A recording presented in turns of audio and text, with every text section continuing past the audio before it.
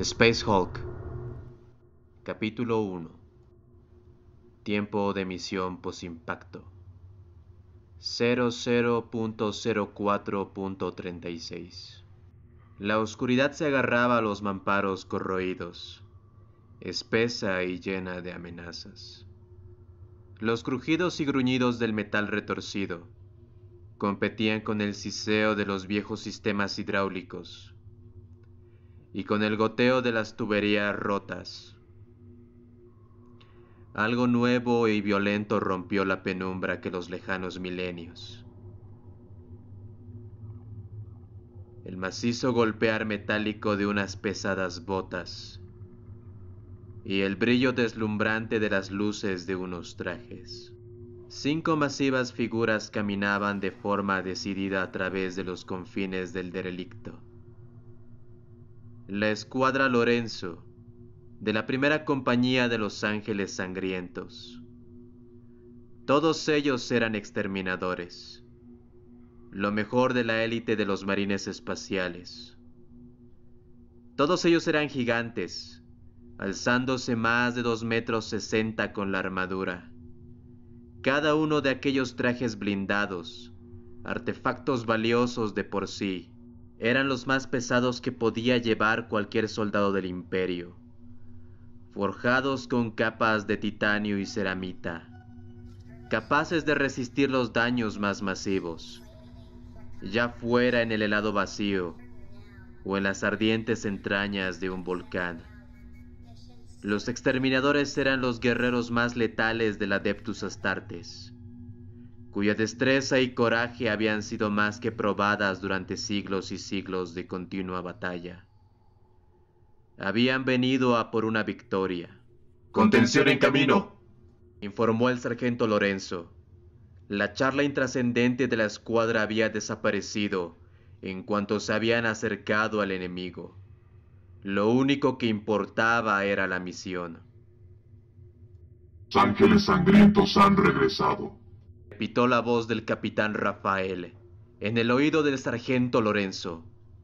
La señal sonaba algo distorsionada, tras haber viajado más de mil kilómetros desde su fuente, en donde el comandante de la fuerza de asalto controlaba los acontecimientos, desde el crucero de combate La Espada del Ángel en órbita. Ante seis siglos hemos cargado con el peso de la derrota y el estigma del fracaso. Ahora nos redimiremos.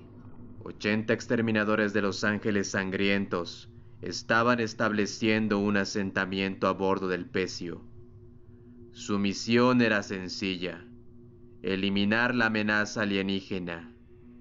Y a muchos cientos de metros tras la escuadra Lorenzo, un cordón de soldados veteranos protegía el área de impacto en donde los tecnomarines y otros equipos de apoyo estaban siendo establecidos. Cuando todo estuviera dispuesto, avanzarían sobre el enemigo. Pero por ahora Lorenzo y los seis guerreros estaban solos. Se había encargado a la escuadra el destruir los controles aún activo del banco de módulos de salvamento si el enemigo conseguía escapar del pecio espacial a bordo de las cápsulas salvavidas, su infección se extendería hasta otras naves y hasta otros mundos más lejanos. No podían permitir que eso pasara. Era tan importante el contener dicha infección que la escuadra Lorenzo era sacrificable. Anunciados por el destello de las luces de sus armaduras, los marines espaciales avanzaban en fila india a lo largo de una sinuosa extensión. Las armaduras acorazadas tácticas de los marines llenaban el estrecho pasillo y arañaban de cuando en cuando los muros de metal con sus masivas sombreras. Su librea escarlata brillaba bajo la luz de los focos, una verdadera declaración de temeridad y determinación. Los ángeles sangrientos no luchaban amparados por las sombras. Los exterminadores avanzaban con grandes pisotones, acompañados por el gruñido de los cervos y los jadeos de los grupos de fibras musculares de sus trajes. Desde la cabecera de la fila, el sensorium de Lorenzo mostraba el laberinto de corredores de más adelante, y este estaba desierto.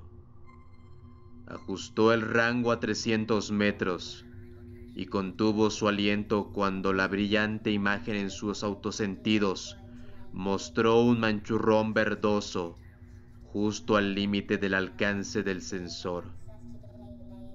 Esperó varios segundos, pero el contacto no mostró ninguna clase de movimiento. El enemigo estaba dormido. Sección asegurada. Patrón Tita dijo el sargento, pulsando el botón de activación de su espada. La hoja zumbó de vuelta a la vida, y el brillo azul eléctrico de su campo de energía bañó el pasillo, con su luz parpadeante. Bajo el doble destello de los focos de la armadura de Lorenzo, el pasillo aparentaba estar vacío. Los paneles de la cubierta estaban retorcidos, aunque intactos en algunos puntos. Aunque los muros que flaqueaban el estrecho corredor, hecho de hojas de metal remachado, estaban corroídas e infestadas de suciedad. El único sonido era el zumbido del arma de potencia. Los pisotones metálicos de las botas y los jadeos de las armaduras de poder mientras el resto de la escuadra tomaba posiciones tras su sargento.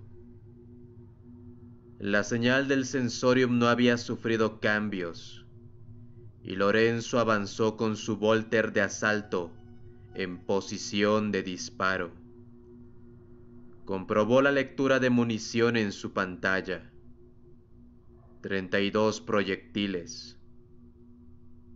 Se detecta una onda de energía procedente de estribor, hermano sargento. Distancia indeterminada. Quizás sea un cable o un generador. Anunció Valencio. No tiene relevancia para la misión. Continúen avanzando. Dijo Lorenzo, reduciendo el paso a medida que se acercaban a una intersección, con un pasillo que llegaba desde la derecha. Barriendo a su alrededor, con los haces de sus focos deslizándose sobre los muros. Lorenzo miró a lo largo del pasillo y avanzó dos pasos, y aún con las luces del traje, la visibilidad era pésima. Motas de óxido y copos de pintura vagaban a la deriva. Desde el techo y los retorcidos muros del pasillo creaban extrañas sombras. Lorenzo escaneó el área buscando posibles aperturas, respirando tranquilamente y concentrado en la tarea. El nuevo pasaje tenía dos puertas. La primera estaba a la derecha unos 12 metros más adelante, y la otra estaba a la izquierda a unos 30 metros.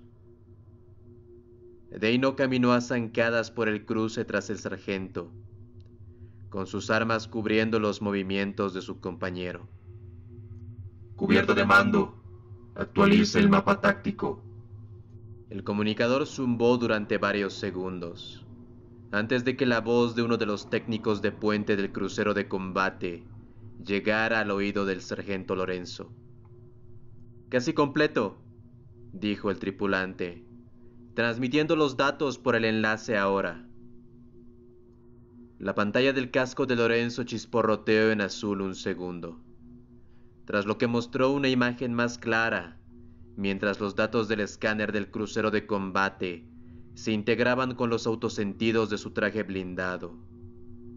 Una cuadrícula se sobreimpuso sobre su campo de visión, y tras una orden subvocal, un mapa independiente apareció en su ojo derecho.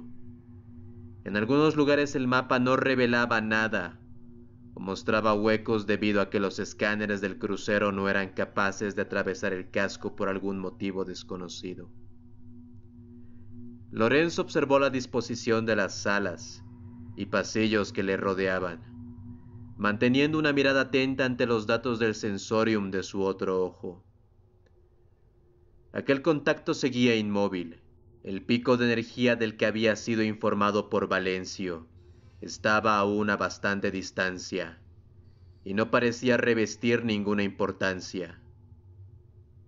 Señalando ruta de salida, informó un servidor a bordo del crucero de combate.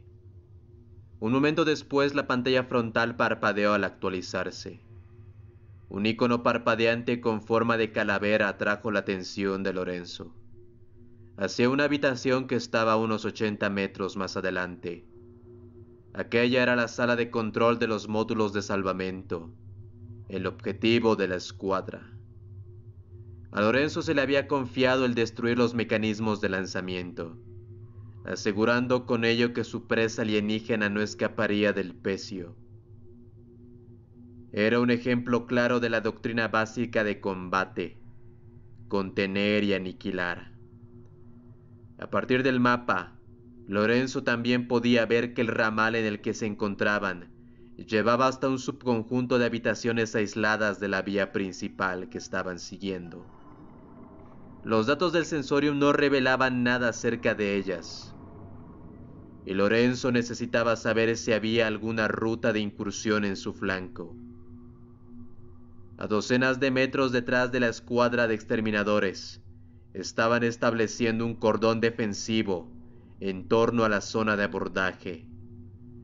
Pero más allá de aquel perímetro, había varias formas en las que la escuadra podría quedar bloqueada o rodeada. Valencio y Sael conmigo. Buscar y asegurar. Reino y Goriel protejan los flancos. Lorenzo se adelantó una vez más. Sael siguió al sargento, con el cebador de su lanzallamas pesado chispeando y carraspeando. Valencio cubrió la retaguardia, manteniendo la distancia estándar de cinco metros. Deteniéndose dos metros más allá de la primera puerta, Lorenzo adoptó una postura de control de área, con las piernas bien apoyadas y el rastreador de objetivo fijado en un foco amplio. Tras él, Sael se giró y confrontó la puerta, desactivando el campo de energía de su puño de potencia. El exterminador hizo girar el pomo de la puerta, y con un chirrido la misma se abrió con un temblor hasta la mitad de su recorrido, deteniéndose con un chirrido aún más grande y profundo. Sael agarró el borde de la misma e hizo fuerza hacia un lado con sus actuadores potenciados empujando la puerta en su hueco más chirriante. Protestó el viejo metal. Dentro de su casco el exterminador hizo una mueca de desagrado ante el sonido. La sala de detrás de la puerta era cuadrada, con menos de 10 metros de lado hasta la siguiente pared, en la que la otra puerta estaba abierta. Placas agrietadas recubrían el suelo lleno de mugre. Los muros habían sido blanqueados de forma chapucera en algún punto del pasado, aunque ahora todo era metal desnudo, quitando los ocasionales parches de pintura decapándose.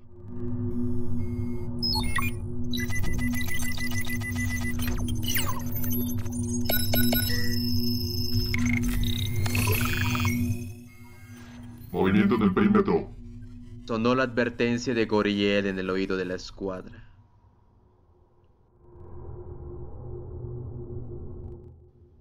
Fin del capítulo 1.